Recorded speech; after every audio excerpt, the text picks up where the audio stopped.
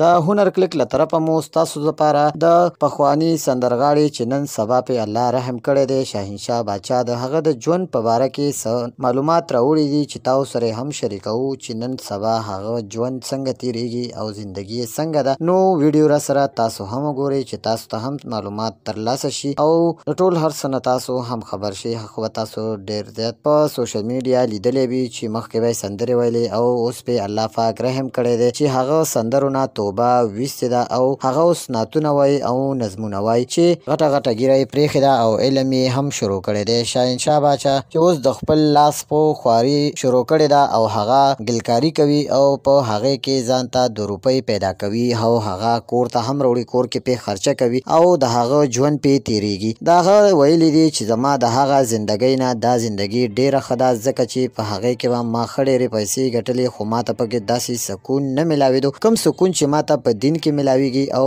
په دې خوارۍ کې راته ملاويږي چې زه د خپل لاس سپو خواري کوم او محنت مشقت کوم او الله فاک ماته دغه څو روپۍ راکوي چې په هغې کې پې زه په کور کې هم خرچه کوم او ما سره هم بچت پاتې کېږي وايي چې دا حلالې پیسې دي او دا هېڅکله په غلط ځای کې نه استعمالېږي هغه چې داسې هم ویلي دي چې زما بچي اوس علم ته ناست دي او ما علم ته کېنولي دي او زه خپل هم علم کوم او دا یې خپلو کتونکو ته هم ویلي دي چې کوشش کوئ چې تاسو خپلو بچو باندې دیني علم حاصل کړئ ځکه چې زندګي به مو روښانه شي هم ستاسو او هم د بچو نو خوږو ملګرو شهنشاه باچا چی اوس دا مهال ګلکاری کوی او په ګلکاری کی ځان ته څو روپی پیدا کوی چی د خپلو بچو یی پی هر څه هم کیږی او د ده پی هم کیږی چی خپله یی هم ویلی دی چی زما ژوند د هغه ژوند نه اوس ډیر ښه تیریږی خوږو دوستانو الله دی په ټولو باندی رحم وکی او الله دی ټول مسلمانان نیکو ته مخه وکړی او الله دی ورته هغه دنیا ښایسته کړی دی دنیا دی ورته الله پاک هم خوشحالی ورکړی تاسو ټول پی امین ووایه.